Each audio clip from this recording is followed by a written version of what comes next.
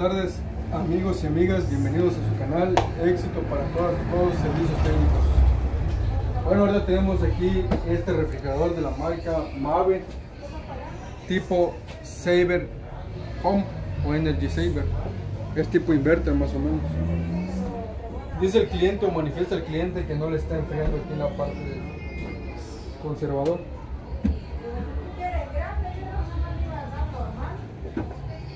Vamos a proceder a destapar la parte del congelador y vamos a ver cuál es el detalle.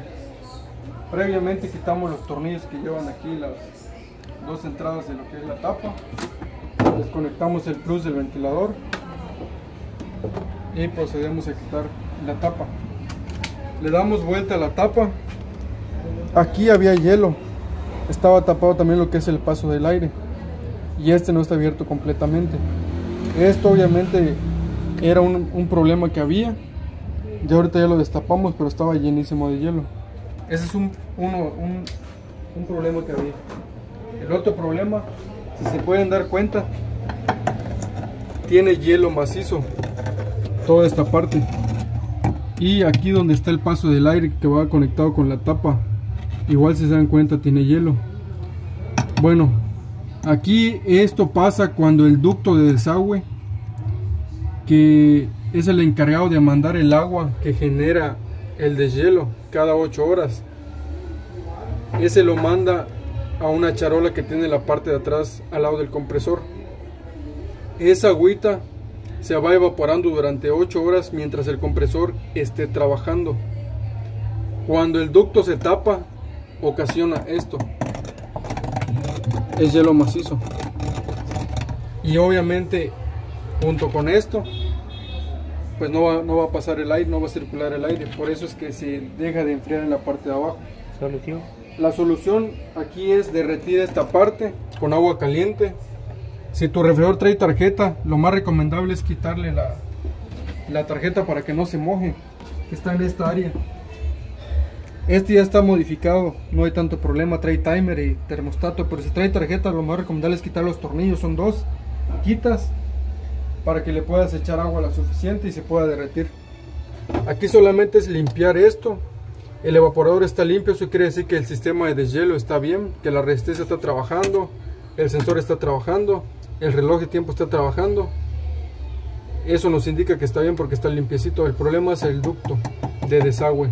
Aquí es echarle agua y hacer que se derrita completamente y cuando esté derretido volverle a echar agua y verificar que caiga toda el agua que le echaste en el ducto. Ahorita no va a caer en el ducto, va a caer hacia enfrente porque está tapado el ducto.